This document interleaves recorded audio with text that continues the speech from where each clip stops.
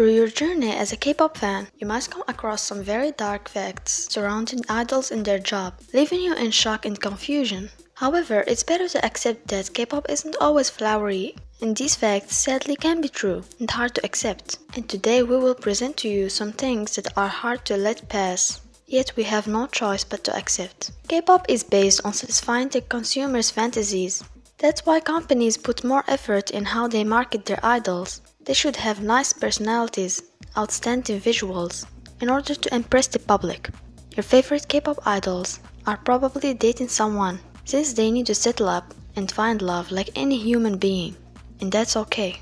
Every K-pop group will disband one day, and they are most likely to go in different paths. It sounds unfair, that many K-pop groups won't get to a high level of fame and recognition no matter how hard they try, especially when it comes to small agencies with bad marketing, since it plays a big role in a group's popularity. K-pop idols are not genuine all the time. Most if not all are forced to put their most likable personality in front of the cameras in order to appear more pleasing. The fandom's acts and behavior influences how new fans and non-fans will view a certain group.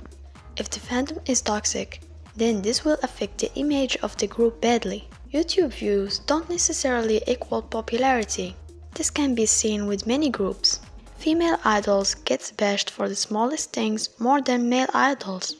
It seems that they suffer from unjustified hatred towards them.